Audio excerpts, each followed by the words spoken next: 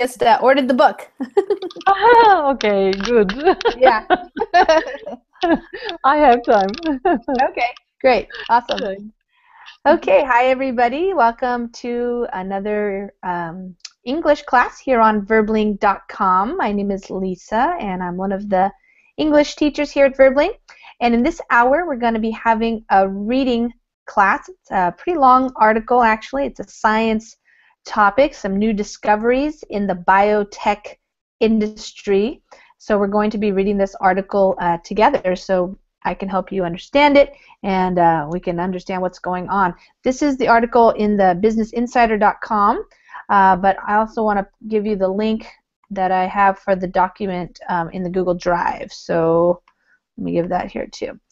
Okay, so um, if you have a reservation for this hour, then you can use it now. If you don't have a reservation but you want to join us, just wait a minute, um, and then when you see the join class button, you can join. If you're a Verbling member, you do have to be a Verbling member. If you aren't yet a Verbling member, you can join um, with the free trial for seven days.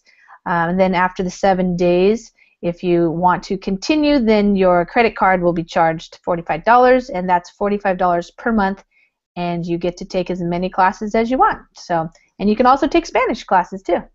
we have some students who are learning English and Spanish. So, um, Khan, what, let's talk about India for a minute while we're waiting for people to join us. When was the last time that you went to India? Um, last summer in June, July, I was there, but mm -hmm. uh, in actually in May I was there. Mm -hmm. Mm -hmm. Uh, yes. how how many times have you been to India? Uh, three times. Wow. Uh, yes, this is not my first time. Mm-hmm. Uh, but last summer they relocated uh, to Malaysia from oh. India. I went to Malaysia to follow them. mm-hmm. Mm-hmm. Okay, interesting. yes, it is a, a beautiful world. I really like India. Uh-huh. Now they come back to India. I will go in May again. Oh, great. And um, how's the weather when you go? Is it hot or is it nice climate or? Yes, hot, hot because yeah. Goa is the south of India. Okay. Yeah. Mm, so it is really hot. mm-hmm. Wow, cool. Yeah, I have several uh, people that I know, some friends who have gone to India over the years for different uh, types of practices, yoga practices, spiritual practices. Yeah, that's cool. All right, well, let's see. Let's welcome everybody else who's coming in. Hi, Antonio. Welcome. Hello, Lisa. Hello, everyone. Hi, and uh, Monica. Hi, Monica. Hi. Welcome. How are you? I'm doing well, thank you. Starting my week Monday morning. It's not too early. It's 10, 10 a.m. for me uh, but it's good. Oh. yeah. And uh, I'm ending my more my day. that's right. How was your day? Did you have a nice day? Oh yes, uh, day at work, uh, same old, same old. same old, same old. okay, good. And Israel, how are you? I'm very well, thank you. Okay, good. And Hamit's joining us. Hi, Hamit. Hi. Okay. All right, you guys. Well, let's get started because um, this article is actually pretty long, and I'm thinking that I'm going to just um, have you guys read, and then I'll explain things, and I might also uh, give you some feedback on your pronunciation. So if I hear you say something and I want to correct it, I'll I'll tell you about that too.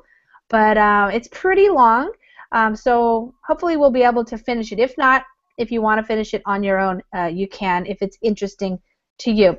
Um, this is article I took from uh, the Business Insider magazine, businessinsider.com, but it's been um, in a lot of different places. So it's a new uh, discovery that they've been talking about, and these guys just got an award for their research. So it's it's online here that I where I took it, but um, I also saw this same story on many you know many different other uh, websites. So it's it's in the news right now. Um, it's pretty big. It's a big uh, biotech discovery. So you, uh, you know technology related to humans and, and animals, but in related to biology, living things. Um, and so it's about to change medicine. That's the idea here. So a pretty big breakthrough. Um, and we're going to try to understand it. I am not a scientist myself, so maybe Hamid or other people might help us understand it. But I think the basic idea we'll understand, and uh, obviously we'll be uh, practicing English as well. so we get we say kill two birds with one stone. We'll uh, learn some new English and also learn about something new, perhaps to us in terms of this new discovery. Okay, so why don't we start with Monica, and I'm going to give you guys um, kind of a, a, longer passage each as well, so we can read through this. Like I said, it's a pretty long article. So Monica, why don't you uh, get us started with that part there? Okay. On November evening last year, uh, Jennifer Doudna put on a stylish black evening gown and headed to Hangar One, a building at NASA's Ames Research Center that was constructed in 1932 to house the dirigibles. I don't know how to pronounce. That's right, dirigibles, yeah. Under the looming arch of the hangar, Doudna mingled with celebrities like Benedict Cumberbatch, Cameron Diaz, and uh, Jon Hamm before receiving the 2015 Breakthrough Prize in Life Sciences, an award sponsored by Mark Zuckerberg and other tech billionaires. Doudna, a biochemist at the University of California, Berkeley, and her collaborator Emmanuelle Charpentier of the Helmholtz Center for Infection Research in Germany each received three million for her three million dollars for their invention of a potentially revolutionary tool for editing DNA known as Crisps. Doudna was not a gray-haired America being celebrated for work she did back when dirigibles for the sky. okay, good. All right, so now I'll uh, start. So the, the first part is you get an image of uh, what's happening, and we see that here in this uh, picture here. So they put on a black gown. They're going to a special awards uh, ceremony. And so this happened in November uh, last year. Uh, stylish black evening gown. That's just the dress that she wore. It looked very nice and stylish. And they were headed to Hangar 1. So headed to means going to. That's where they were going. And hangar is a big building that um, airplanes are stored in. That's where they're located when they're not in use. And this was at NASA, so the space uh, station here in the United States in Florida, where they uh, used to let off the rockets and stuff, shoot off the rockets. So uh, it was constructed a long time ago, 1932, and it was for dirigibles, which is, is not a very common word unless you know about you know uh, past um, uh, types of ships and airplanes and things like that. But it's an air, it's a type of older style airship.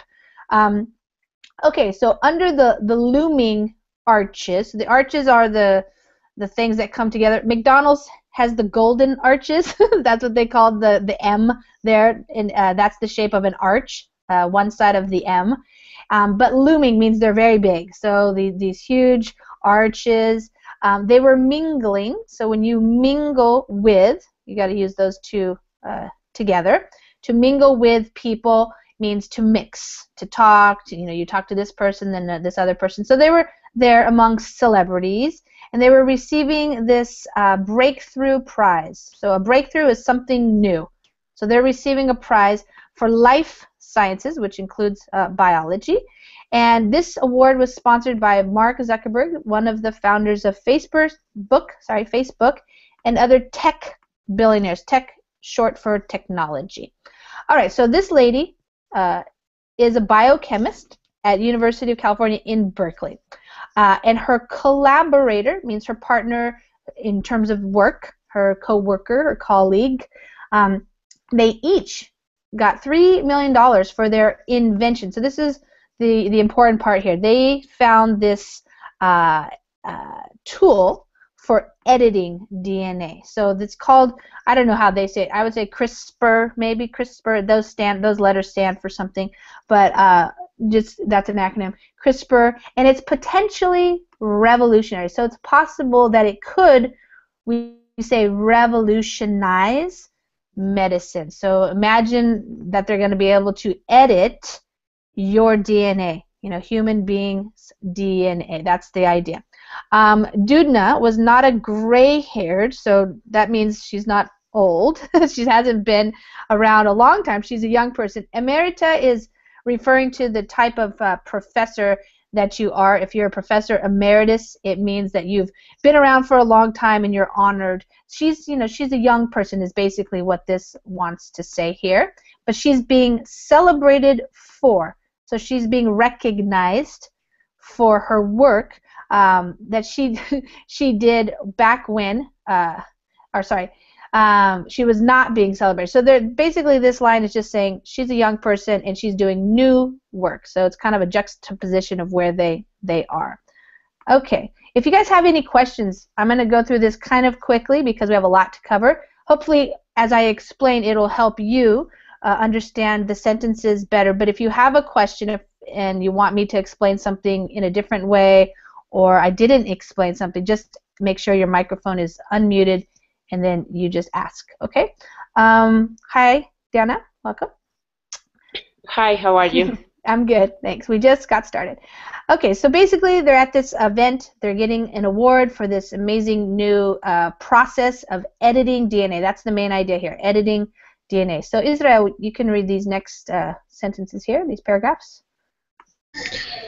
It was only in 2012 that Jonah Charpentier and their colleagues offered the first demonstration of Christ's potential. They craft uh, molecules molecules that could enter a microbe and precisely snip its DNA at a location of the researcher's choosing.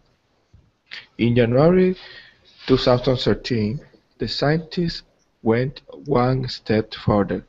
They cut out a particular piece of DNA in human cells and replaced it with another one. In the same month, separate teams of scientists at Harvard University and the Broad Institute reported similar success with the gene editing tool.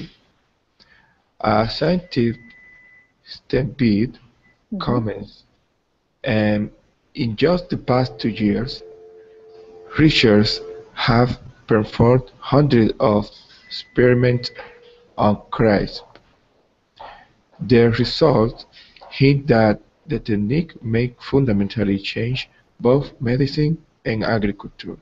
Mm-hmm. Okay, good. Now we're uh, getting to know what they did. So um, this sentence was saying, you know, she's not old and she wasn't working back when these dirigibles ruled the sky. So when they were being used, uh, maybe in warfare or something like that.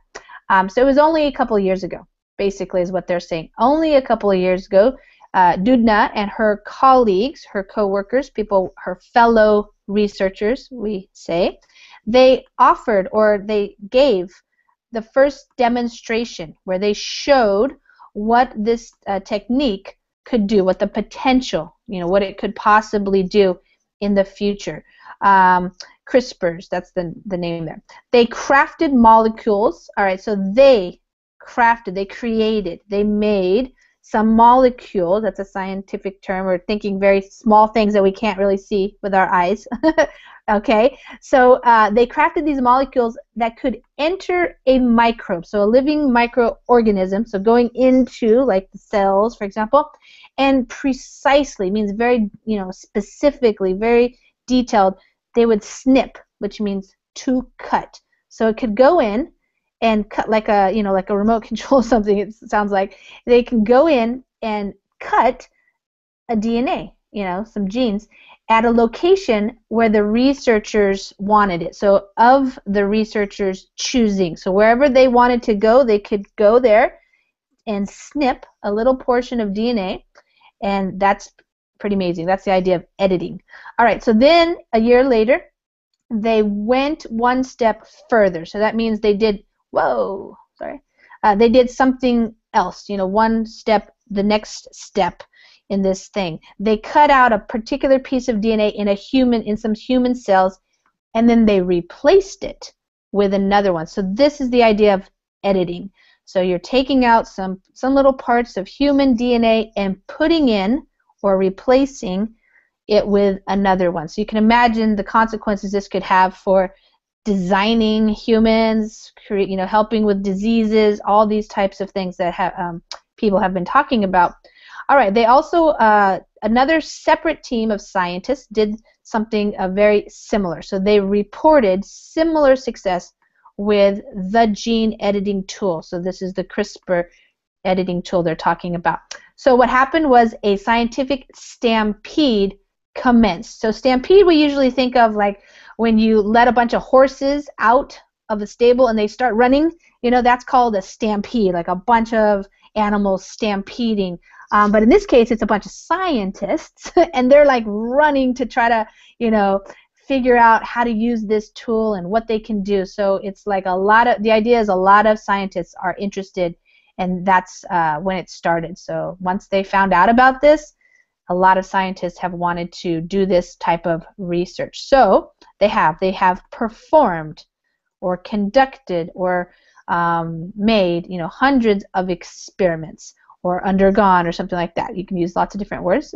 Um, their results, their findings, you know, the things that they were able to achieve, hint or give us a clue that this technique may fundamentally, means at the core, change both medicine, obviously for diseases, and agriculture, so how, how we grow plants and animals, uh, living organisms, things like that. So pretty new uh, technology that could have a big impact on the future. Okay, Hamid.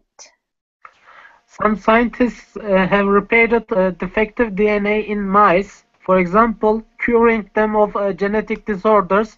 Uh, plant uh, scientists have used CRISPR to edit genes in crops, raising hopes that they can engineer a better food supply. Some researchers are trying to rewrite uh, two genomes of elephants with the ultimate goal of uh, recreating a woolly mammoth. Writing last year in the journal Reprodu Reproductive uh, Biology and Endocrin Endocrinology, uh, Motoko Araki and uh, Tetsuya Ishii of Hokkaido University in Japan predicted that doctors will be able to use CRISPR to alter the genes of human embryos in the immediate uh, future. Thanks to the speed of uh, CRISPR research, the accolades have come uh, quickly.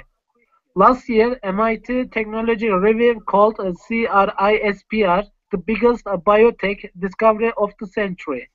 The Breakthrough Prize is just one of several prominent awards Doudna has won in recent months for uh, her work on CRISPR. National Public Radio recently reported whispers of a possible novel in her future. Mm-hmm. Okay.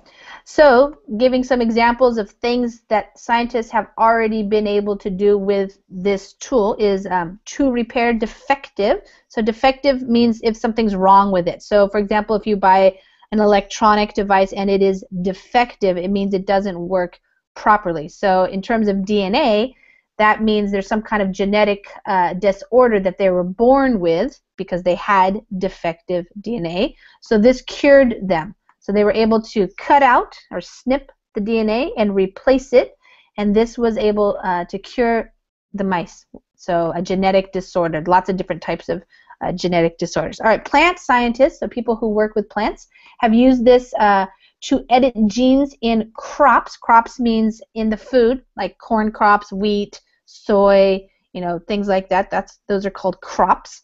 And so they are raising hopes. Raising hopes. So to raise hope means to increase the hope or to give hope that in the future they will be able to engineer a better food supply. So to create. This is a very controversial issue already with GMOs and things like that. So, um, you know, some people really think it's a great idea, and some people think uh, we shouldn't uh, bother nature.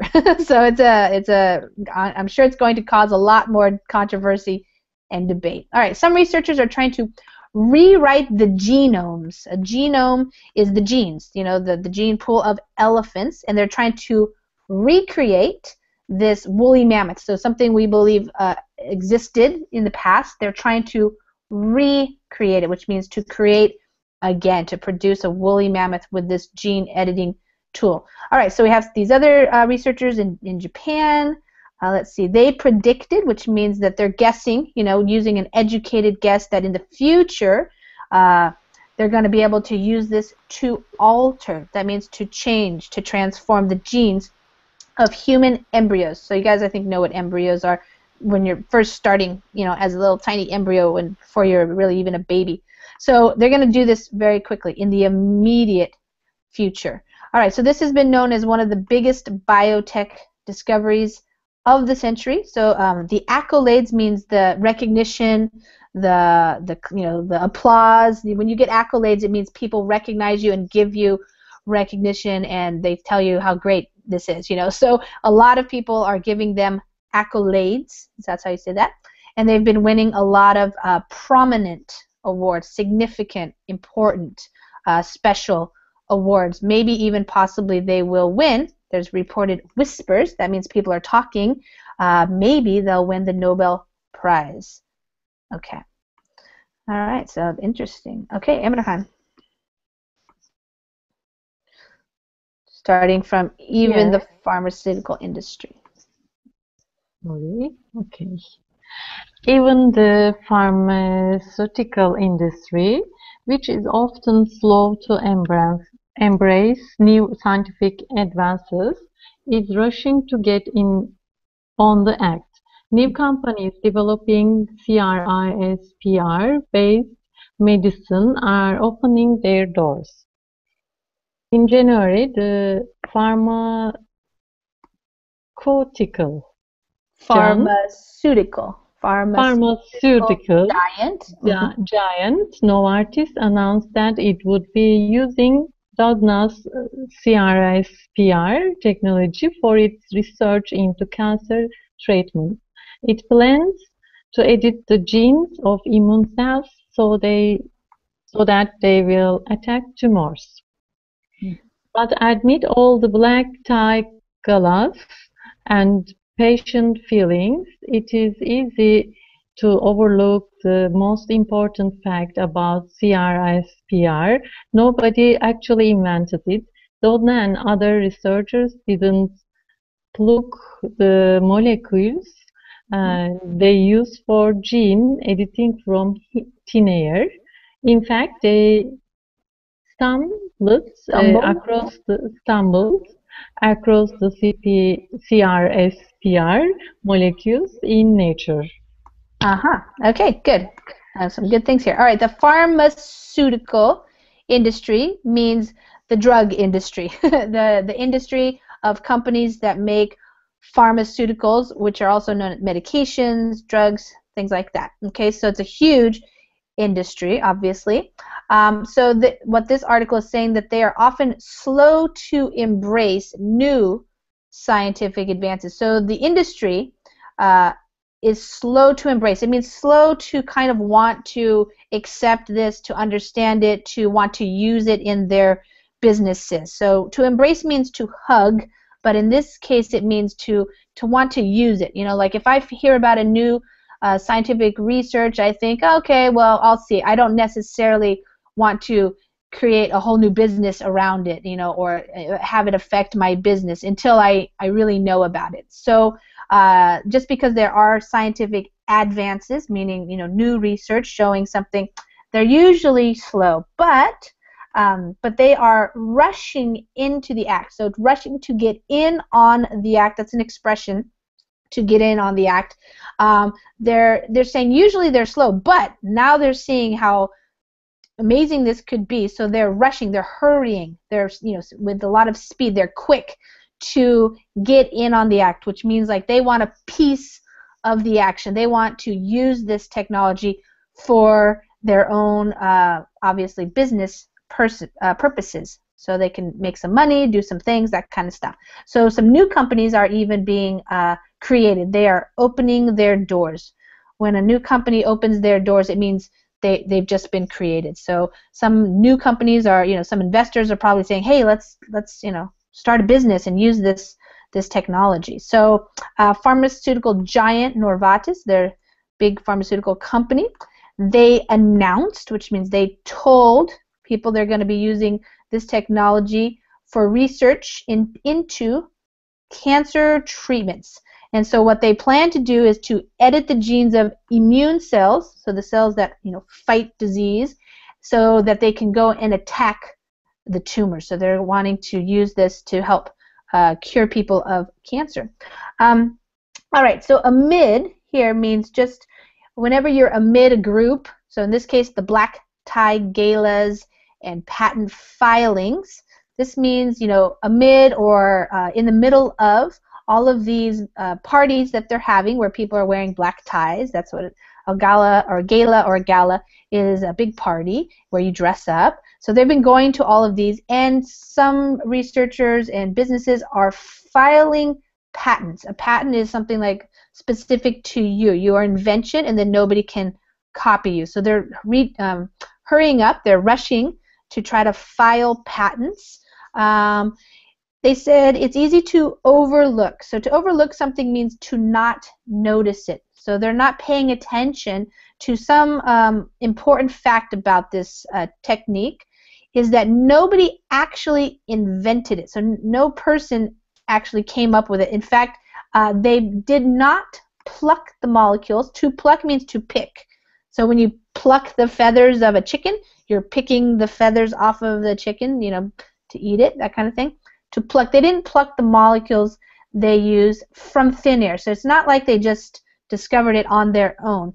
They stumbled across. That means they to stumble means to kind of fall, like you're going to fall down.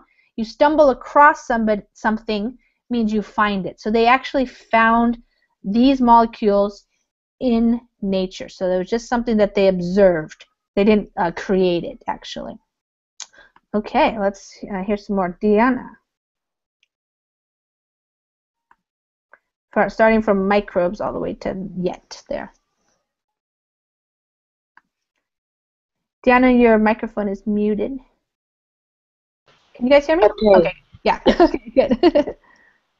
uh, microbes has been using them to edit their own DNA for millions of years, and today they continue to do so all over the planet, from the bottom of the sea to the recesses of our our bodies.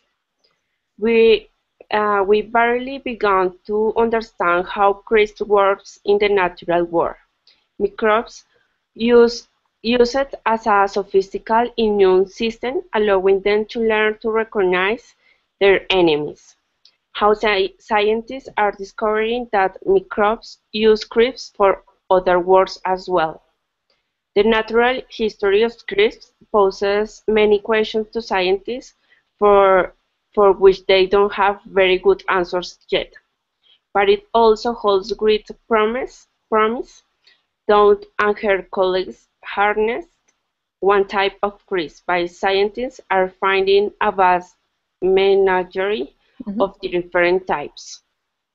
Tapping that diversity could lead to more effectively gene editing technology or open the way to application no one has thought of yet.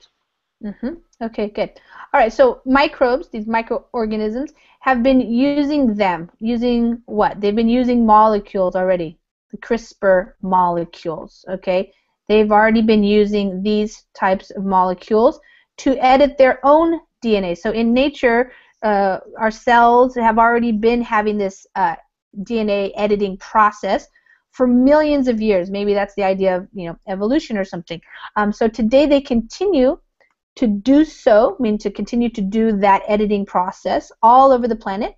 Uh, and then she just says from the bottom of the sea to the recesses of our own bodies. The recesses just means the areas, the areas of our own body, inside our own bodies. Uh, we've barely begun. So barely means just like, you know, we're just now starting to understand. It's very new that we're understanding how these molecules work in the natural world. Um, so microbes, they use a sophisticated immune system. Your immune system is the, the, the, what we call the, the parts that fight against a like a foreign object, a virus, a bacteria, a disease, things like that. And sophisticated means, you know, very complicated, not simple. So the opposite of sophisticated would be simple. Sophisticated is complex, you know. Um, and so it allows them to learn, to recognize, to understand, and to see who the enemies are. So our bodies, these cells, you know, the microbes uh, in living things, uh, they recognize the enemies. They see this is not supposed to be here right? Okay, and then they start, they take action, that kind of thing. Um, they're learning, so scientists are still discovering all these new things about these uh, CRISPR uh, molecules that they're used they're for other jobs as well. So they do other things as well. Um, poses a question. So if you pose a question, it means you're it puts a question to these uh, scientists. It means it's like asking. It's um, putting in front of them these questions. They don't know. These scientists don't really know, so they're trying to discover more and more. And they don't have good answers yet. Um, but it has great promise. Promise means that you're hopeful that something good will come in the future. So um, they don't know everything, but they're very hopeful that they're going to learn more and more, and that you know with this CRISPR they are going to have lots of uh, amazing things they can do. That's the idea. Okay, her colleagues harnessed. To harness something means to kind of like take control of it. So they're able to uh, see and kind of take control of just one type of CRISPR. But scientists are finding a vast. A vast means a large, a large or a wide menagerie. Oh, it means um, you know when you think of a large group of different types. So a menagerie is like a, a group, but a, a, lot of different things. So you can imagine this is just the beginning of what they're discovering. Now they're realizing, wow, there's so many of these different types of things that we could use. So um, when you tap, tapping that diversity could lead, so tapping the diversity, what is the diversity?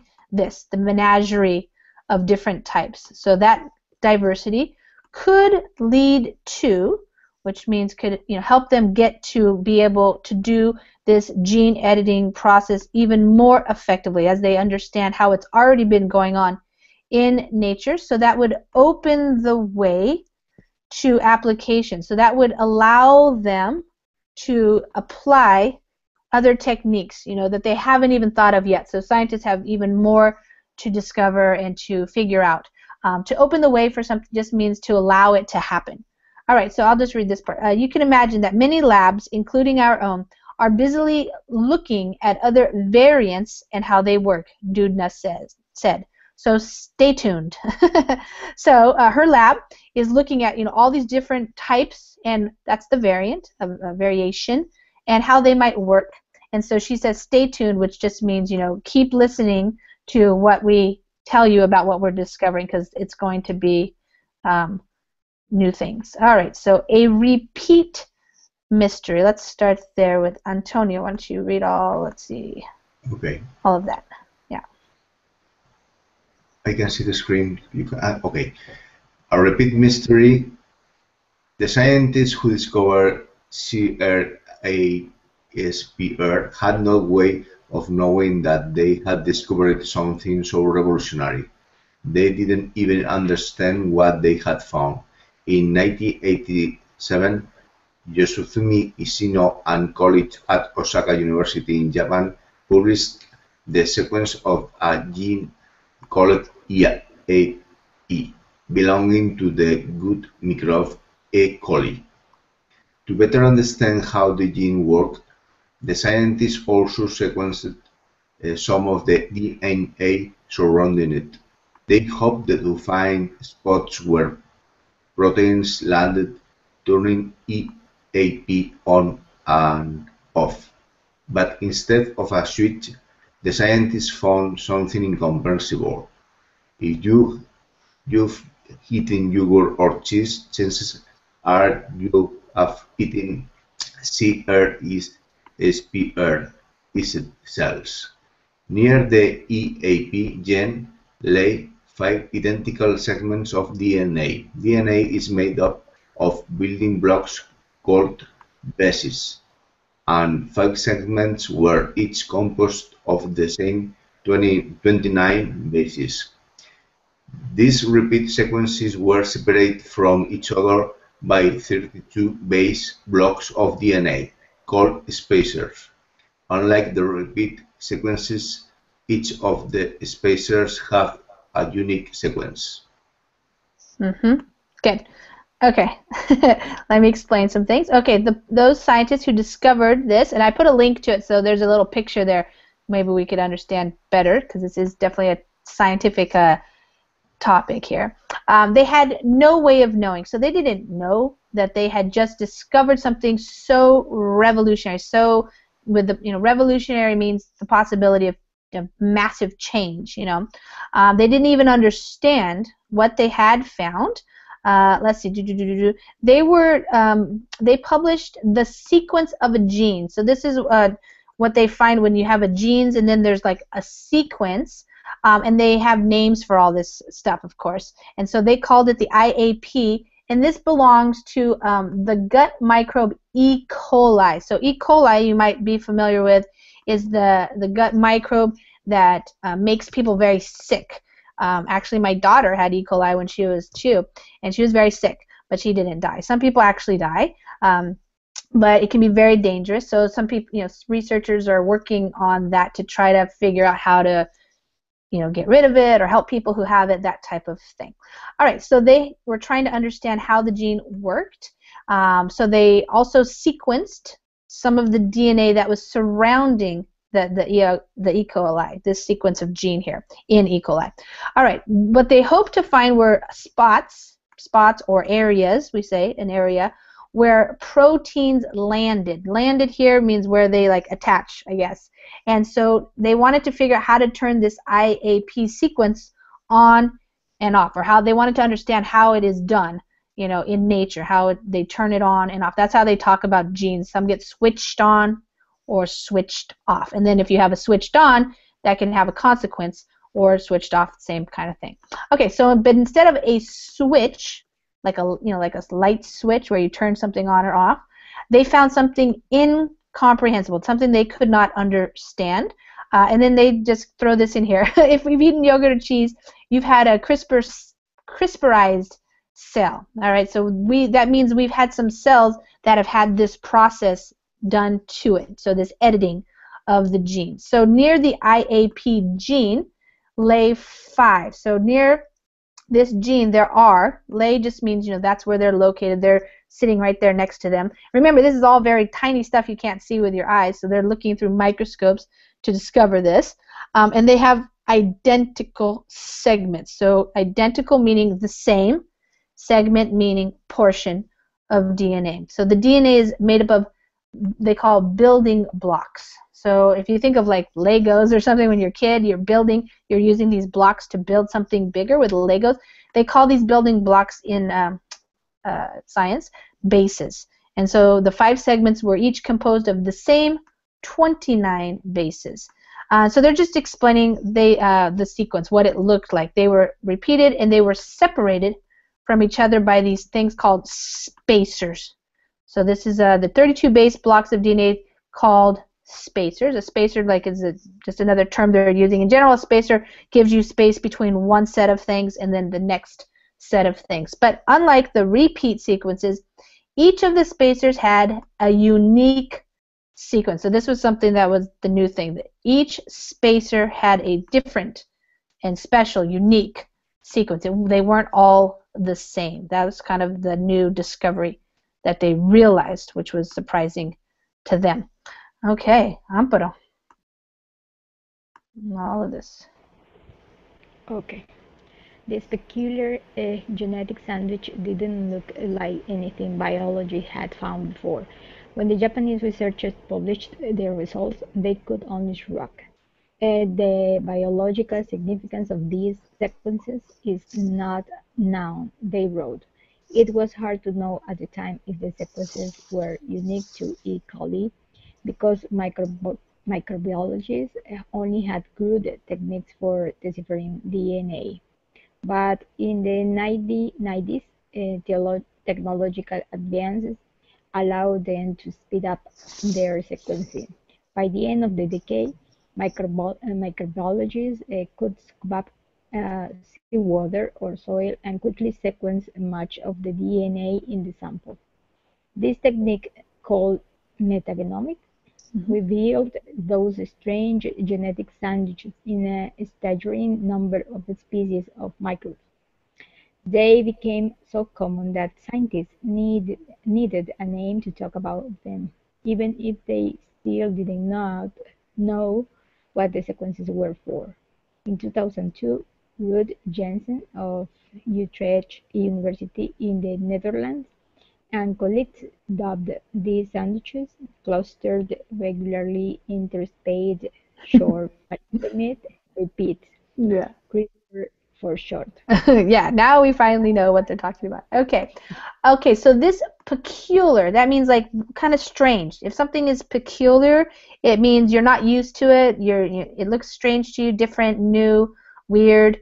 Um, and it looked like this, you know, sandwich. So sandwich meaning here like push together. Whenever you sandwich something together, that could be a you know a verb, not just like a sandwich that you eat, but to sandwich something together means to put it uh, together. So this genetic sandwich, of all these genes uh, together, didn't look like anything they had found before.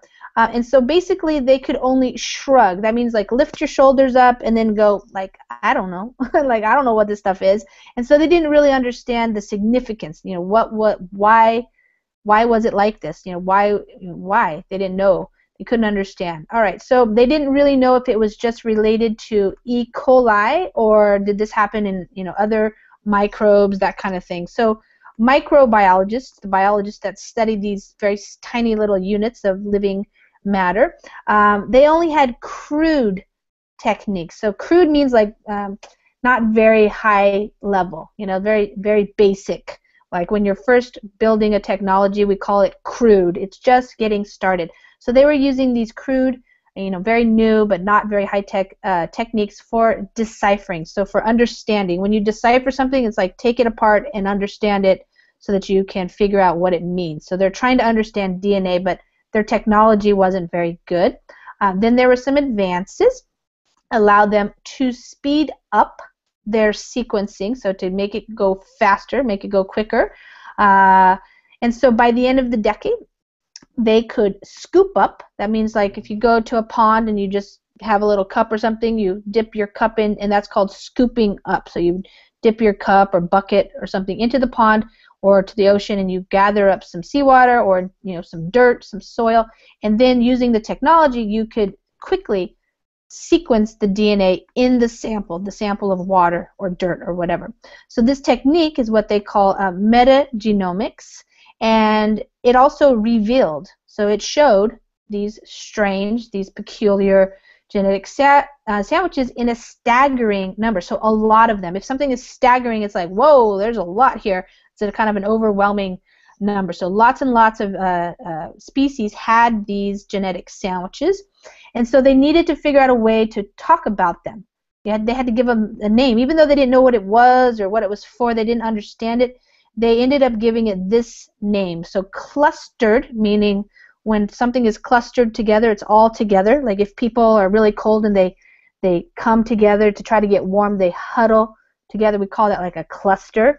And so these uh, genes were clustered, regularly interspaced. So they had uh, to interspace means to put something in between the spaces, and then short palindromic repeats. So if you look at the the Wikipedia page that I linked, there's like a picture of what that kind of looks like. So they just gave it that name. So it's CRISPR for short, and then people, scientists, understand what they're talking about, even though they didn't know what they were actually uh, what they were were for. They just gave them a name. You know, we're just going to call them this. So that's what they called them. Okay. All right, back to you, Monica. That. Jansen's team noticed something else about the CRISPR sequences. They were always accompanied, accompanied by a collection of genes nearby. They called these genes Cas genes for CRISPR-associated genes. The genes encoded enzyme, enzymes that could cut enzymes uh-huh. that could cut DNA, but no one could say why they did so or why they always sat next to the CRISPR sequence.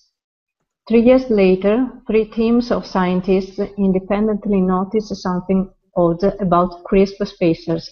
They looked a lot like the DNA of viruses. And then the whole thing clicked, said Eugene Koonin.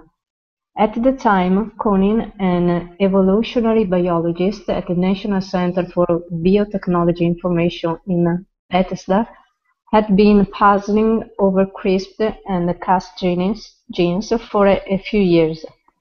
As soon as he learned of the discovery of bits of virus DNA in CRISPR spacers, he realized that microb microbes were using CRISPR as a weapon against viruses. Koonin knew that microbes are not passive victims of virus attacks. They have several lines of defense. Koonin thought that CRISPR and Cas enzymes provide one more. In Koonin's hypo hypothesis, bacteria use Cas enzymes to grab fragments of viral DNA. Mm-hmm. Okay, now we're getting a little more technical. okay, so they noticed. they noticed, so they saw. That means they saw something uh, something else, you know, about these sequences. So now we know that these were these clusters of uh, genes that were there, and that they were always accompanied by. So they always came together with this other cluster or collection of genes that were nearby to them. So, uh, and they called these the Cas genes. So it's like CRISPR-associated genes. For um, they called it Cas genes. So you're taking from the C here and then associated here. So these came along, kind of like they came together as a package, it sounds like, and the genes encoded enzymes. So they like created these enzymes that could cut DNA. So to cut, to snip DNA, which, okay, that's now they're trying to understand that. They could observe that, but no one could say why. Why would they do this? Um, but they always sat next to or you know were collected nearby this sequence. So um, they keep discovering things independently. So each you know different teams of scientists working not together. When you work independently, you're working in your own team, not with another team. So independently, they all were noticing the same kind of thing, something odd, something strange about these uh, spacers they looked a lot like the DNA of viruses. So we say not virus, but uh, we say viruses with the long I sound.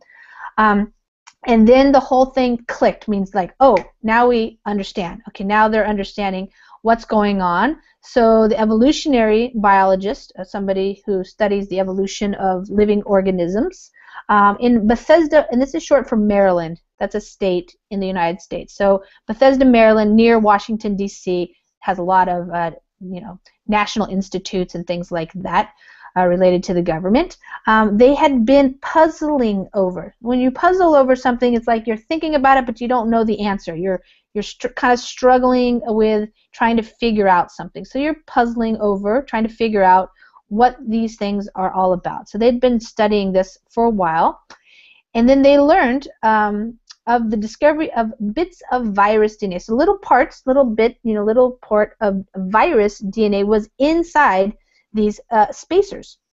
So what they realized, what they thought was, okay, these CRISPR are weapons against the virus. So that's the main thing.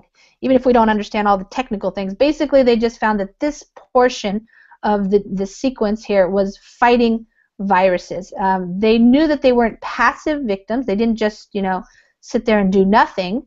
They actually were the defense. So they were providing defense for the organism um, by you know create by attacking these uh, viruses.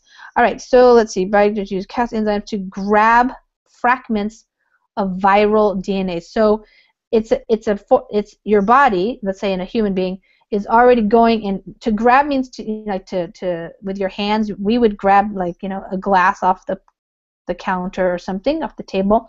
So what this is what this is doing. These genes are going and getting the bits, the fragments of the virus, the viral DNA. So they're trying to fight, uh, you know, the invaders into the space.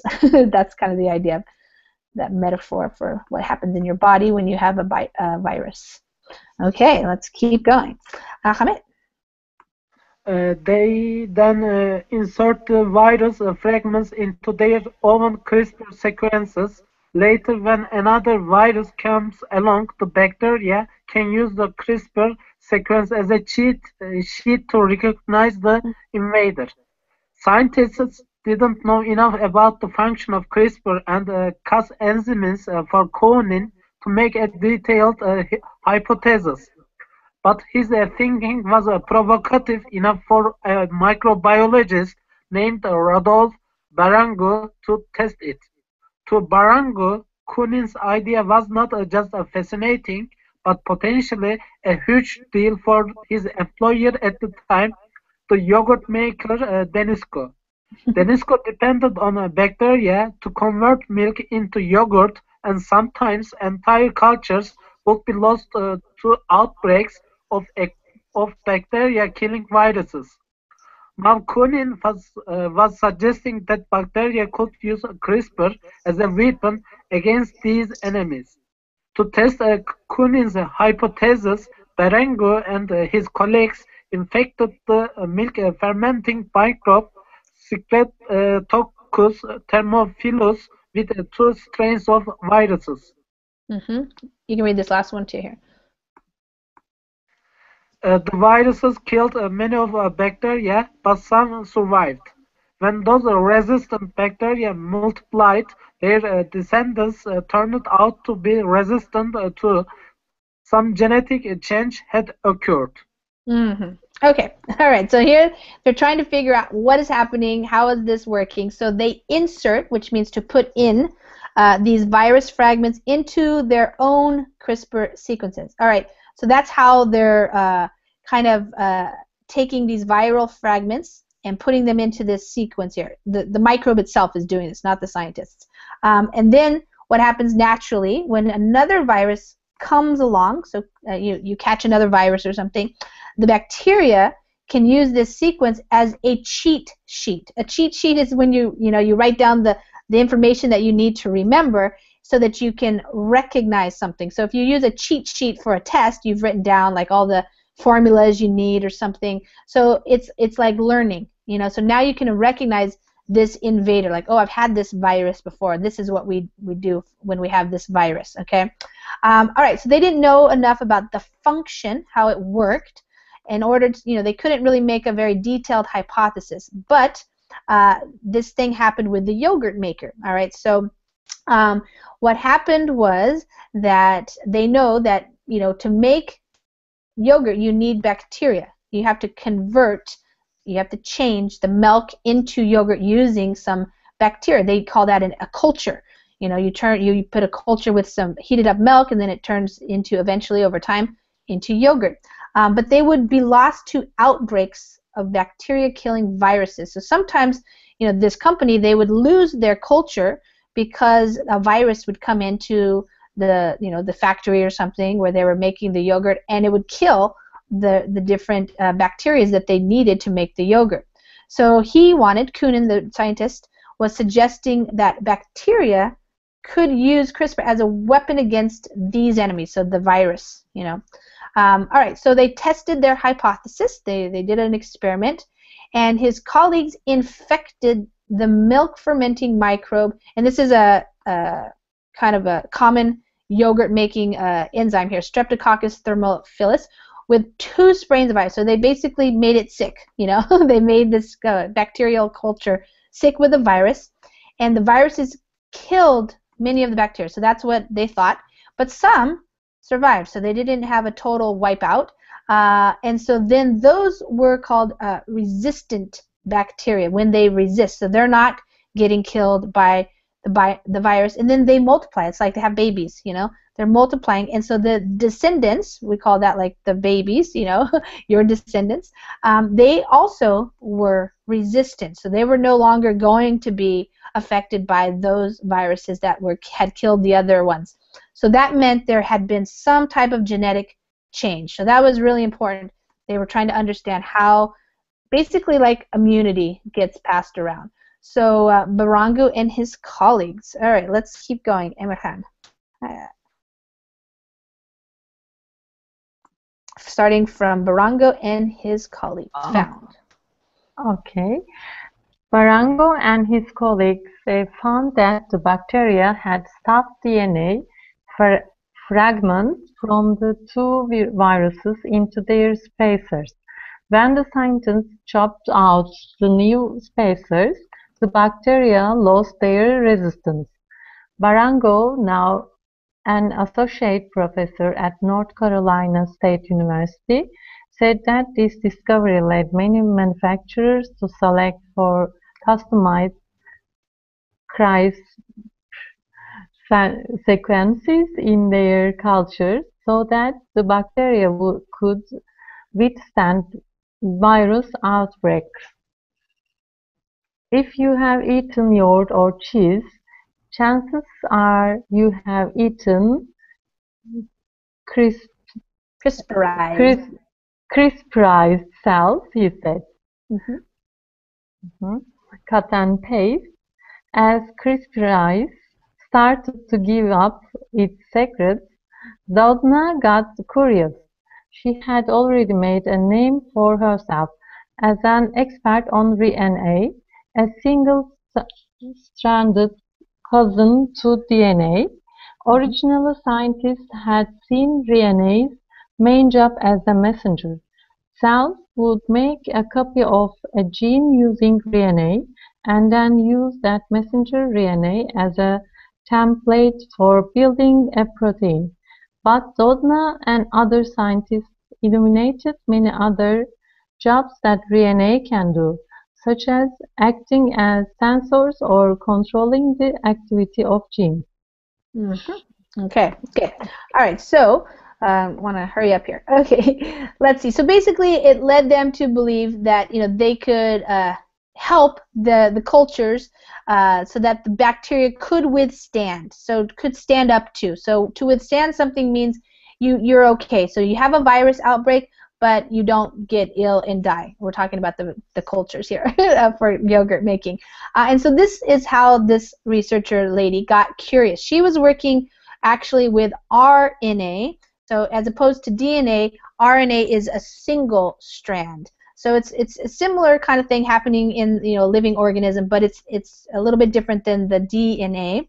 And so uh, she had seen the RNA's main job as a messenger, so to, to tell you know the cells these different things, right? So um, let's see, they were using as a template for building protein, but she and other scientists illuminated. That means they showed, you know, they highlighted that the RNA also had many other jobs. Uh, it could act as a sensor, you know, sensing things and also controlling the activities of the genes. All right, so I'm going to read this real quick. In 2007, Blake Wiedenheft joined Doudna's lab as a postdoctoral researcher, eager to study the structure of Cas enzymes to understand how they work. All right, so they agreed to the plan. She agreed to the plan, not because she thought CRISPR had any practical value, but because just because she thought the chemistry might be cool. So she wasn't really, you know, that interested, but kind of cool.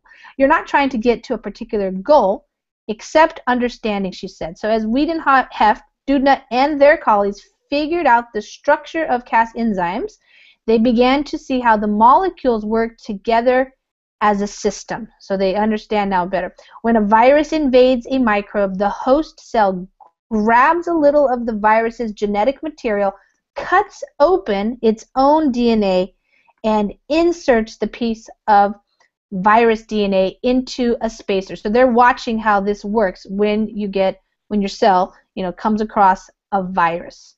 Okay, Antonio, why don't you read um, just that little bit there, and then we'll give Amparo. Oh, Amparo, why don't you read that little bit? Okay. As the, C at the CRISPR region uh, fills with virus DNA, it becomes a molecular most wanted gallery, representing the enemies the microbe have encountered. The microbe can then use this viral DNA to turn Cas enzymes into precision-guided weapons. The microbe copies the genetic material in each spacer into um, RNA molecule. Cas uh, enzymes uh, then take up one of the RNA molecules and cradle it. Together, the viral RNA and the Cas enzymes drive it through the cell. If they encounter genetic material for a virus that matches the CRISPR RNA, RNA latched on tightly. The Cas enzymes and then chop the DNA in two, preventing the virus from replicating. Mm-hmm. As CRISPR's uh, biology emerged, it began to uh, to make other microbial defenses look downright primitive. Using CRISPR's, microbes could in effect program their enzymes to seek out any short sequences of the DNA and attack attack it exclusively. Exclusively. Okay, all right, we, we ran out of time. But anyways, they're just explaining how they observed this, how it works, and there are some pictures online if you want to like a, a a graphic of how this is working, but it's it's an amazing thing because it's art. The the nature itself is this is how nature itself tries to deal with uh, invaders, kind of like a virus or something. So you know, there's some words here. Replicating means copying. You know, pre- preventing the virus from replicating itself. So they chop the DNA into, they cut it in, in half. And so it's pretty cool. I wanted to at least introduce it to you guys. I, I knew it was really long article. Um, if you're interested, it is kind of technical, but if you just kind of follow the main ideas, you don't necessarily have to understand, you know, RNA and Cas enzymes, that kind of stuff, but the kind of the process and the fact that it, it can edit. And now will humans be able to kind of take control of this natural process and use it uh, in ways to engineer new, uh, you know, organisms, DNA, things like this. That's kind of the idea. So if you're interested, you can keep reading. Otherwise, uh, you might want to read it in your own language and then come back, and that would might help you to better understand it as well. And if you look at the pictures on the, the site where I got it, those are pretty interesting uh, pictures as well. That's the lady there. But in terms of these pictures where you actually see uh, inside, um, right here, there's a video there. You can see also the DNA sequencing and all that kind of stuff. Okay, cool. Well, thanks for coming, you guys. Take care. All right. Take care. Yeah, bye bye, everybody. Thank you. Bye. You're welcome.